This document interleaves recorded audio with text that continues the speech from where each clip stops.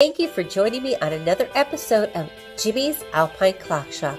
Today, I'd love to show you a gorgeous clock from the Waltham Clock and Watch Company. This is a tabletop clock, and it's called a mirror mantel.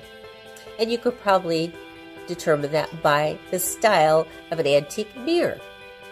It is an eight-day clock, and the movement inside of it is called a large size watch mechanical eight day movement.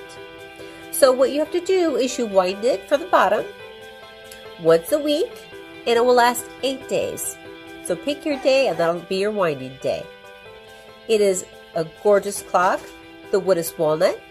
It's hand painted, hand carved, has a gorgeous shape to it, wonderful profile. Look at that. Isn't that great? It has a very simple back, but the lines just make it so, such a handsome clock. Now I'm going to show you how to wind it. Very, very easy to use. Right here at the bottom, just pull out this little key. And then what you do is you just wind it like this. And then when you're done winding it, you put it down. And then to set the time, you actually pull it out and turn it. Very, very easy to use. Isn't this gorgeous? This clock is from the 1930s, and it will just make a handsome addition to anybody's lovely home.